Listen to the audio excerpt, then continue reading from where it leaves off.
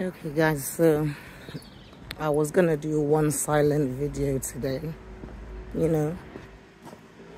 So with the silent videos if you're one of my spotters you know that i normally do walking videos. I just move the the camera so it will not show people's cars and their numbers because i don't really want you know people to start asking me because this is a route that i take on a regular know, when i'm going to the prayer garden. So guys i said this is gonna be my silent video so enjoy the video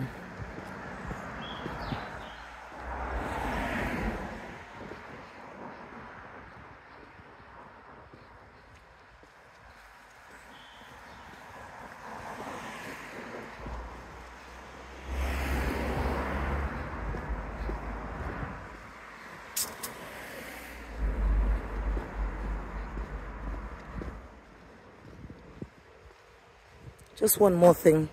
You can add music to my walking videos. I've got a lot of walking videos on the internet. You know you can just go google them search for them. You can remove my voice.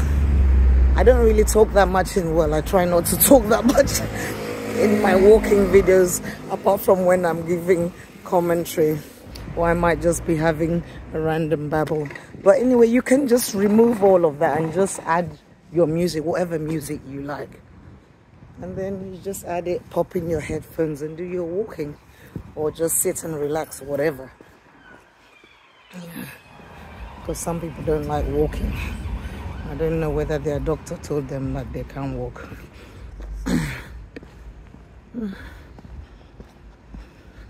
I have to go and see him because I don't know if somebody is trying to remove my eye. I've got too many boots, otherwise maybe I would have taken these. I mean, these are solid boots. You see, only worn a few times. Oh, they're from Zara, guys. So, guys, those of you that are, those of you that are local to the area, those of you that are local to the area will know exactly where I am. Guys, see these boots? I don't know if they're men or women's, but I think it's unisex. So guys, gorgeous pair of boots here, just waiting to be given a new home. Enjoy. Don't say I don't give you anything. Hello, we continue. My head they haunts, my head they haunts. No carry me play cause my head they haunts. I be bad girl two four. No they carry me play. My head they haunts, my head they haunts. I be bad girl two four. No they carry me play.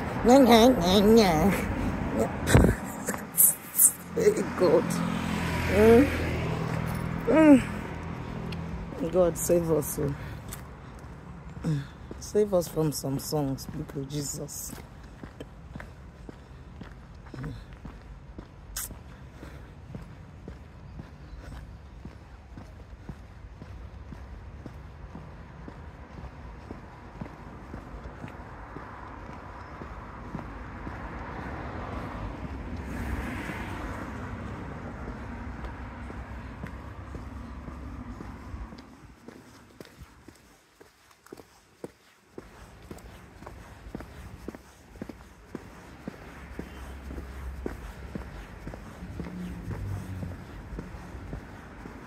Guys, do you remember playing hopscotch when you were kids? Oh my god. I used to love playing that game. And when I was in Nigeria, I used to love playing 10-10. Guys, you know 10-10 now, Abby? The one where you play and you clap your hand. You play with your friend, you clap your hand. And they will say, take one, and take two, take three, take four. And then the next time, sometime we will use skipping rope. Mm?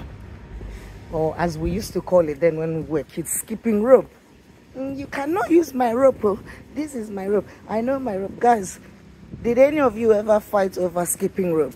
You know when you have your skipping rope that you normally use to play 10 10 and all because some of us we were so good we got to the point where we start using rope and we'll be jumping we'll be playing 10 10 10 and then we use our skipping rope and then we will jump eh?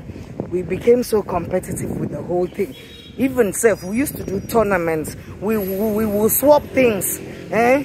somebody will be a 10 10 master obviously if you know how to do 10 10 you know what i'm talking about do you guys know what i'm talking about are they going to say Anne has started again with her Okbatayan?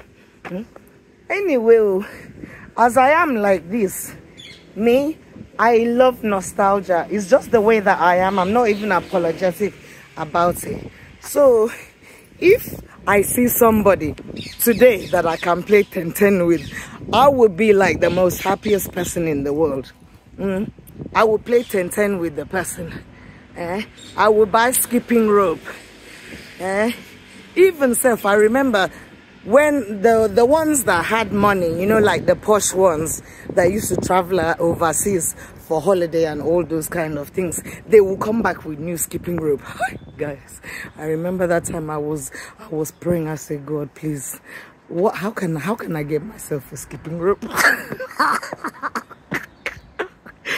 I had just normal rope, but I would be saying to myself, how can you know they had the skipping rope with the wooden with the wooden handle? That was the one, and the rope used to be twisted, beige in color with the cord. I coveted that skipping rope. no good lie to you. But anyway, I will continue that story another day so that you guys can come back. I can't give you guys everything in one go. Guys, I'm a 52 year old woman. I've got stories upon stories upon stories. Hmm? Don't ever think that any of the stuff that you heard about me is all that you know. Hmm? And it's good. I'm talking in a positive. Anyway guys so this is the prayer garden. If you're one of my spotters you would have heard me talk about this prayer garden before. I wish i had brought my camera to record it the last time i came to this prayer garden. The last time i came to the prayer garden it was a mess. You know there was no foliage. It wasn't thriving. It was a total mess. And i just said i said i said abba father the next time i come to this garden is going to be completely different and everywhere is going to be in full bloom or words to that effect I don't want the pedantic people to come and say, eh, but I don't see any flowers. What are you talking about? So anyway, you guys, you know what I mean. So look at it. Hmm? As you can see, it's thriving. Guys, even if you're somebody who is not religious, if you're somebody who is struggling with the concept of a higher being, because I know that a lot of people actually struggle with the concept of a higher being that has all this power and all of this control over us. I know that a lot of people struggle with the idea, but guys, he exists. As real as this my hand is, God exists. You could talk to him about anything you wanted. No shame. You know why there's no shame? Because he already knows that thing. That thing that makes you so embarrassed. That thing in your past that you've been worried about. I want you to take it to God because God is God and He is so good, He is so faithful. I remember the way this garden was the last time I came and I made that prayer and He always answers me. He always answers me. He never ceases to amaze me. Look at this garden. I can't even believe it's the same garden. My goodness, I can't believe it's the same garden. Just look at this. It's looking the way I always expected it to look. Obviously, the flowers are coming up. Guys, I want you to know that God is real. I don't know what you're dealing with right now. It's not about judgment. It's not about shame some people are ashamed to talk to God. He already knows that thing that you're worried about, that thing that you're stressed about. When he says, cast your burdens on me. Guys, it is no empty talk. God is real. God is real. He is real. There are so many You know, these days they say people want receipts these days. People want to see miracles. God is still in the miracle business. Don't let anybody tell you any different. Hmm? The people that follow me around cannot deny what they're seeing with their own eyes. Hmm? Guys, when I was at my lowest, you know what they told me? When I was at my lowest, people said, even your dad, even God doesn't answer you. It's not the worst thing that somebody has said to me, but I said, huh? I couldn't even actually believe that somebody said it. And obviously, it was somebody from my neck of the woods. But guys, I want you to know that God is real. I am living testament. I am living testament to the power of the Almighty. Hmm? Abba Father, my Elohim, who sent his son, Yeshua Adonai, to come and die on the cross of Calvary for our sins. No matter what you have done, you can come to God. Because that is another myth that people have. Some people feel that they cannot come to God. Some people are embarrassed to speak to God, the creator of the universe, the heavens and the earth. Everything that the eye can see, God created it. Hmm? Everything that the eye can see, God created it. If something happens, He allows it happen. Sometimes things happen so that God can actually show His supremacy. Because, like I said, a lot of people don't believe that He exists.